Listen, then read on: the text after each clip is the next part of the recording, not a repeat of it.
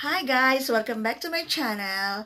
Uh, in today's uh, video, uh, isi-share ko sa inyo kung paano ako magbalot-balot ng mga clothing sa box na ipapadala ko sa Pilipinas. Ayan. At i-share ko rin sa inyo kung ano mga laman niya, yung mga ipapadala ko, may mga clothings, shoes, bags, mga purse. So, uh, stay tuned guys and keep on watching.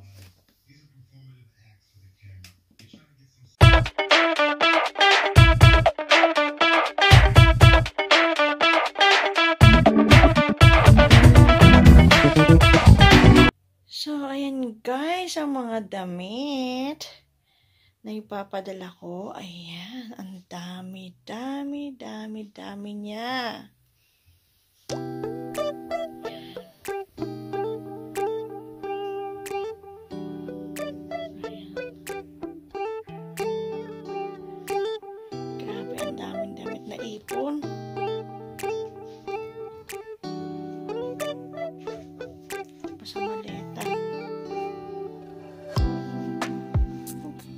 já tá, minha.